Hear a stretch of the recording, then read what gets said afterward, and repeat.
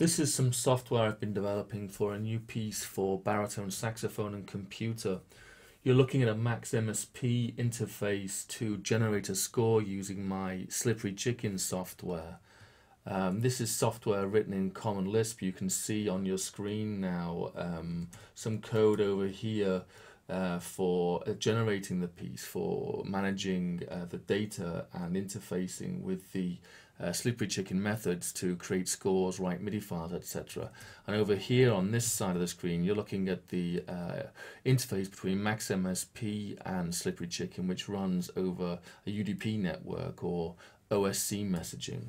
So what you can see here um, is various interface data to uh, the piece. So for instance, an activity curve. This controls the activity of a rhythm chain generating algorithm, which is unique to Slippery Chicken. You can see that we're pretty active at the beginning here, and then we have a sudden drop and a quite a quick rise here. So you can follow the curve of the activity throughout the piece. There's a sort of fundamental scale in an almost traditional sense to this piece, and uh, this scale can be transposed as we go through the piece. You can see we've got a gradual transition to scale um, the piece uh, from one to two. That's the intervals of the scale um, as we go through. There's also a scale offset, which is effectively a transposition.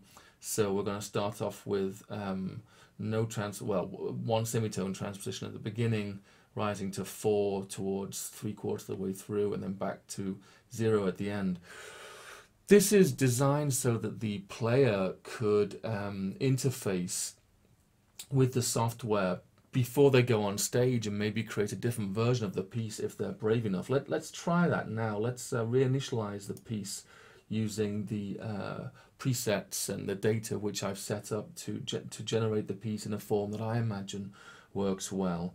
Um, once we've done that, we can generate the piece and you can see the screen goes uh, red or the, the interface goes red while uh, Lisp is doing all the calculations necessary in Slippery Chicken. Um, once that's done, we can um, generate, it's done now, we can generate a, a MIDI file of the piece. Um, and you can see that here.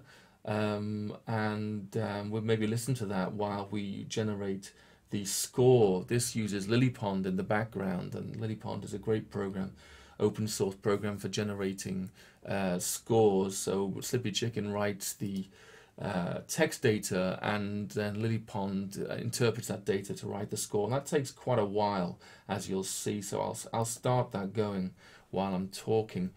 Um, we can have a little listen to the piece um, now while it's thinking.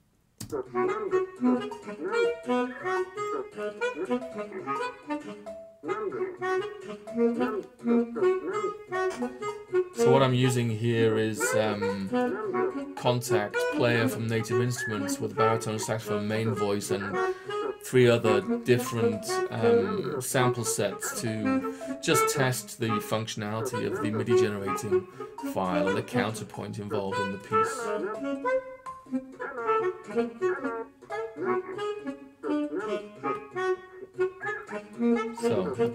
Idea, let's let's stop that there and talk a little bit about the rest of the interface.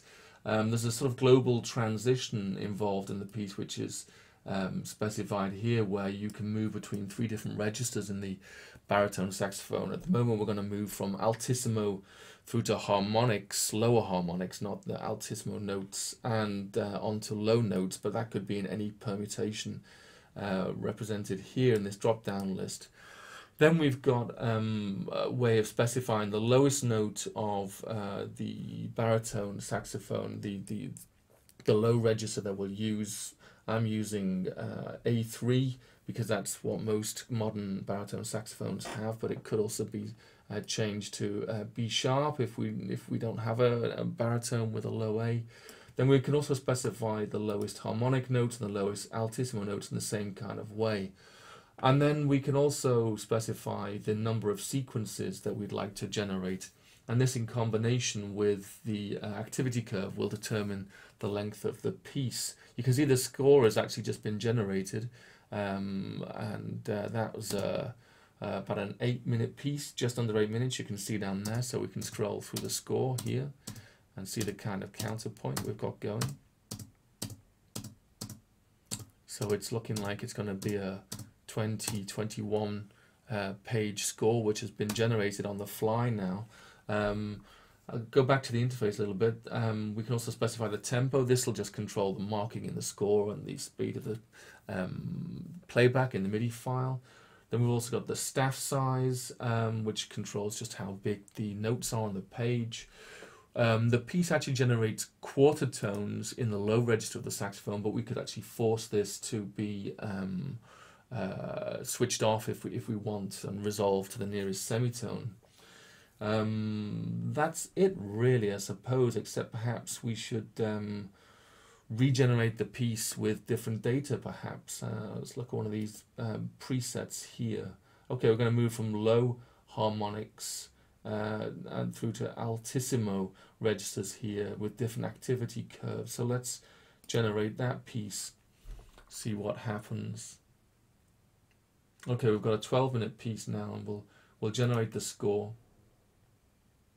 It's going to take a while again, so maybe I'll just um, play the MIDI file a little bit more while, while we're, we're waiting for that.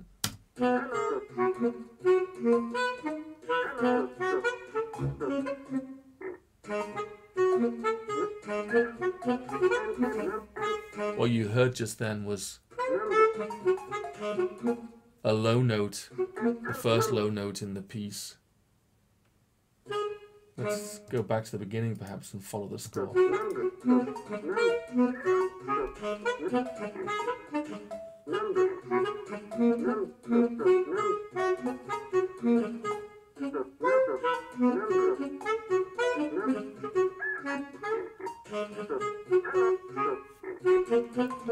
Now you can see that we've got a different piece coming out. So let's have a look at that. We've got a, a very big screen font for the um, notes and um, we've got a piece that's starting uh, low in the baritone sax and therefore it's starting high in the computer there and that would go on for quite a few pages I guess um, maybe if we just write the uh, MIDI file as well we could have a listen to that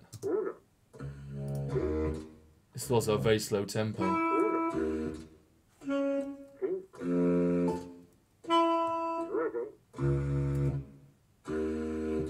Perhaps not a version I'd use at that tempo, but at least um, it shows the possibilities of this piece.